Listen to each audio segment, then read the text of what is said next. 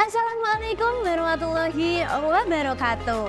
Halo Sobat Santri di mana pun kalian berada.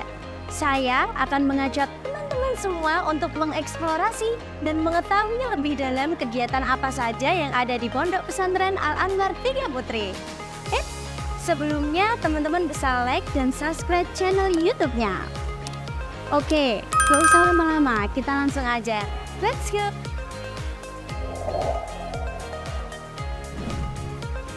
Sekarang kita mengulik kegiatan yang ada di Pondok Pesantren Al-Anwar Tiga Putri. Hmm, apa aja ya kegiatan-kegiatan yang ada di Pondok Putri? Dari bangun tidur di pagi hari sampai malam harinya. Kira-kira ngapain aja ya? Pukul 4 subuh, santri bangun untuk melakukan sholat berjamaah yang dilanjut dengan deresan Al-Quran.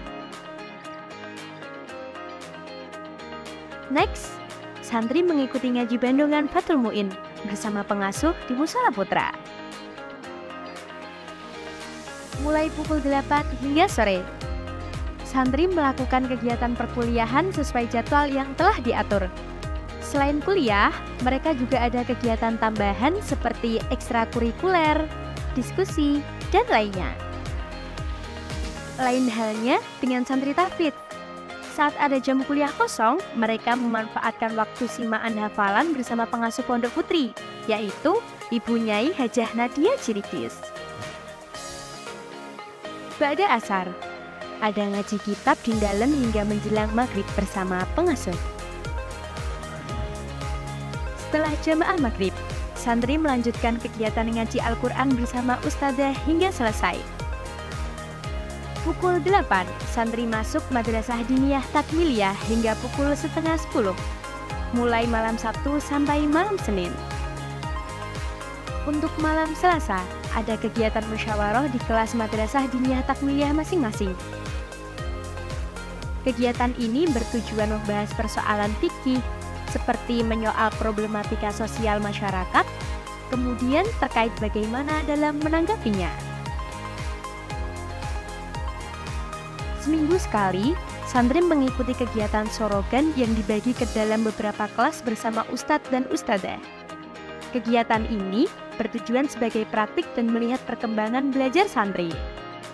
Selain kegiatan-kegiatan tadi, ada juga kegiatan untuk mewadahi minat dan bakat santri. Seperti klub menulis, desain, bahasa, dan make up.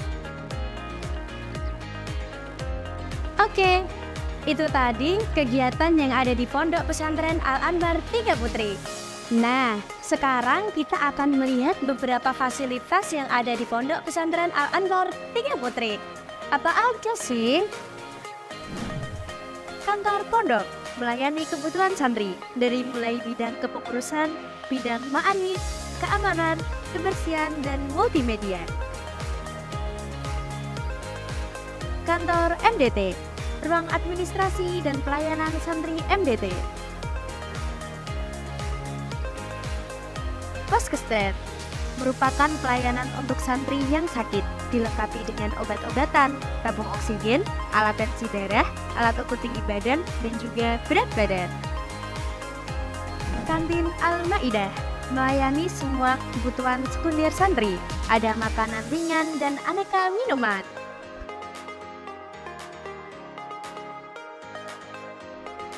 Ada juga koperasi, melengkapi kebutuhan primer santri seperti alat tulis, perlengkapan mandi, dan juga laundry pakaian.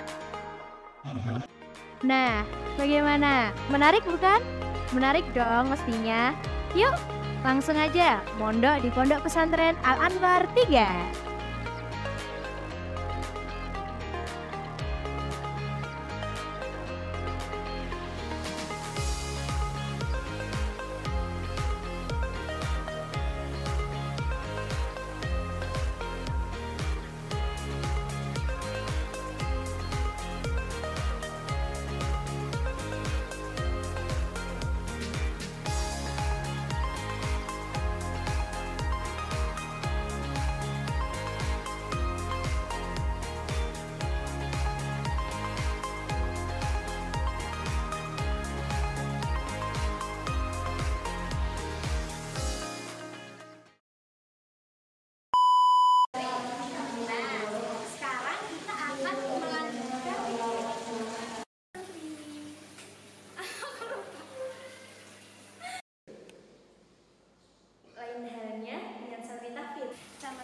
kondom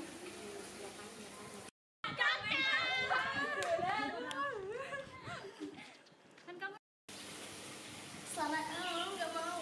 Ayo, selamat lagi. Satu, dua, tiga.